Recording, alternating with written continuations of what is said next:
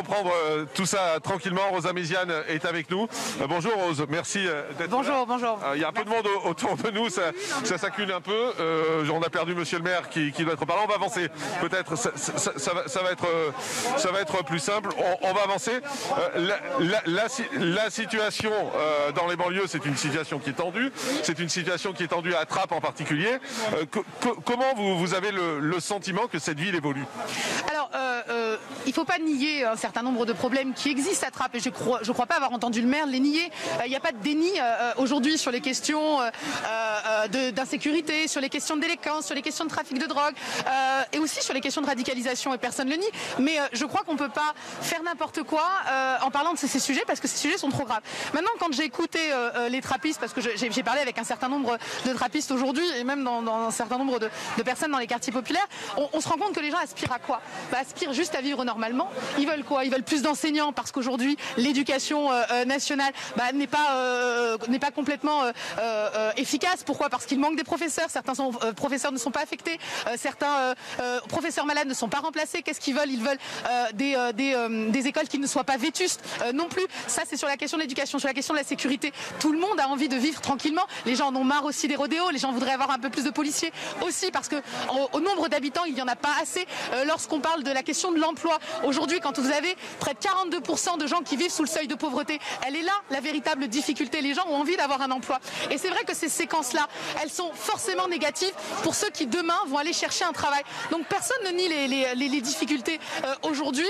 Mais euh, euh, vous savez, tout à l'heure, j'ai discuté avec un jeune homme qui explique qu'il a fait prépa ici à Versailles, qu'il a fait Subdeco et qui aujourd'hui a un poste de cadre dans la finance et qu'il a souhaité rester à Trappes. Je pense que c'est des voix qu'on n'entend pas suffisamment. Alors, ce jeune homme, c'est pas l'arbre qui cache la forêt parce que les problèmes, on les connaît tous. Et s'il y a un certain nombre d'acteurs sur le terrain qui se mobilisent, c'est parce que justement, on refuse la fatalité et on a véritablement envie que les quartiers populaires réussissent. Maintenant, Mais alors c'est vrai qu'il faut casser l'image, il faut casser cette image qui est, véhiculée, c'est ce qu'on. Ah monsieur le maire, vous êtes là. Euh, c'est ce qu'on essaye de faire justement, de, casser cette image. On l'a vu avec euh, ce jeune homme qui était là, qui nous disait qu'il il était revenu à Trappes parce qu'il avait envie de, vivre ici tranquillement parce que c'était euh, son souhait. Mais, comment, comment on fait avancer les choses? Parce que l'aspect négatif prend toujours le pas. C'est comme ça. On parle toujours des trains qui arrivent pas à l'heure plutôt que des trains qui arrivent Je pense qu'il y a deux manières, parce que vous savez, on parle beaucoup des, QRR, des quartiers de reconquête républicaine. Moi, je crois véritablement qu'on a deux manières de reconquérir. Il y a par la sécurité, par la force. C'est une manière de reconquérir effectivement les territoires. Et je pense que c'est nécessaire. On en a parlé tout à l'heure. Il faut plus de policiers. Mais il y a la reconquête par le cœur. Et je crois qu'on a besoin de dire aussi à ces territoires qu'on les aime. On a besoin de dire à ces territoires qu'ils sont français. On a besoin de dire à ces territoires qu'ils sont aussi la nation. Et ça, on ne le fait pas suffisamment. Donc quand on parle de reconquête, c'est des deux façons. Et euh, aujourd'hui, on a une loi euh, sur la question des séparatistes. Je n'y suis pas opposée, j'y ai même participé sur euh, euh, un certain nombre d'amendements. C'est une chose. Mais pour autant, on, euh, a tendance à, trouver des solutions gadgets. Euh, la réalité de l'islamisme ou de la, radicalisation, pardon, c'est quelque chose de beaucoup plus complexe. Et, aujourd'hui, venir un petit peu avec des gros sabots, expliquer que les maternelles ne chantent plus, alors que vous allez dans n'importe quelle école, vous verrez des bouts de choux qui chantent, qui dansent, qui se font des baisers, qui et qui s'échangent leurs microbes.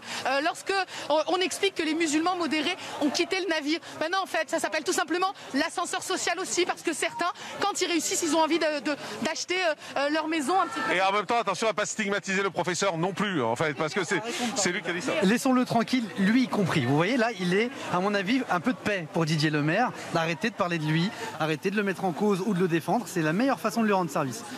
Regardez, vous savez ce que j'ai? Vous savez ce que j'ai sous les yeux, là? J'ai fait imprimer la liste des nouveaux habitants depuis août 2018. On nous explique qu'il n'y a plus de Portugais à Trappes. J'ai deux associations de Portugais très actives à Trappes. J'ai une association de Bretons qui fait des fest-noz chaque année juste ici, qui réunit des centaines de personnes. J'ai toute la diversité de ce pays. On a plus de 70 nationalités réunies à Trappes. Regardez le nom, et c'est là que ça nous fait du mal. Je vous parlais des enfants de Trappes du lycée, dont l'avenir est obscurci par euh, les caricatures qu'on fait de notre commune. Prenez les gens qui achètent ici ou qui envisagent d'acheter. Ils vont se dire mais je vais pas acheter à Trappes puisque c'est une ville qui est en dehors de la République, qui est islamisée, salafisée, etc. Je vous laisse lire, s'il vous plaît, ne lisez pas les, les noms de famille ni les adresses. Contentez-vous de lire les prénoms. Vous allez voir qu'il y a toutes les couleurs de France là-dedans. Il y a toutes les origines.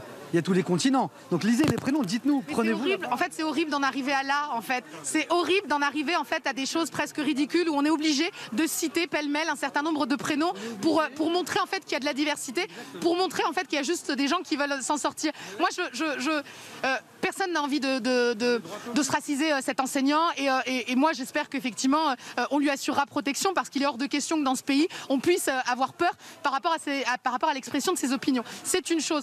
Pour autant, quand il explique qu'il a du mal à parler de la laïcité avec ses élèves, euh, avec mon association, on a créé les JAL, les jeunes ambassadeurs de la laïcité. En moins de trois semaines, on a, a mobilisé euh, à peu près 500 jeunes en fait pour parler de la question de la laïcité dans les locaux des services du Premier ministre. Et ça, euh, on n'avait que des jeunes des quartiers populaires.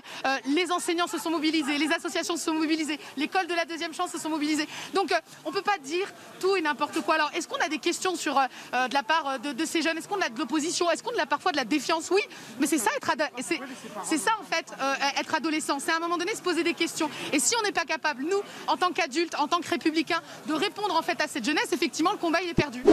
A, on a le sentiment quand même qu'on se retrouve dans une situation où les jeunes qui sont ici n'ont pas les mêmes chances que, les autres à, cause des, des- idées reçues. Rose, C'est, euh, euh, cette génération aujourd'hui pour sortir de sa condition sociale. Enfin, je pense que le chiffre est assez parlant. C'est seulement 30% qui font des études dans le général après le lycée. Là aussi, c'est encore frappant. Donc, euh, bien sûr qu'on est en train, euh, euh, malgré nous, avec cette séquence-là aussi, de, euh, euh, condamner euh, ce- cette jeunesse à devoir euh, euh, changer leur adresse sur leur CV, euh, à devoir, euh, à, à- devoir redoubler encore plus d'efforts pour essayer de réussir. Et ça, c'est pas normal. Donc, euh, quand on parle d'égalité des chances, moi, je n'aime pas parler d'égalité des chances. Je préfère, je préfère parler de la question de l'égalité des droits. Aujourd'hui, la République, en fait, elle doit être présente partout. Euh, mais ça veut dire bah, des écoles, des commissariats, ça veut dire des entreprises, des gens qui recrutent. Parce qu'aujourd'hui, le nombre d'entrepreneurs, il est beaucoup plus important dans les quartiers populaires. Parce que ces gens ont envie, en fait, de réussir. Et je crois qu'on leur rend pas suffisamment justice. Donc oui, il faut savoir les mettre en lumière.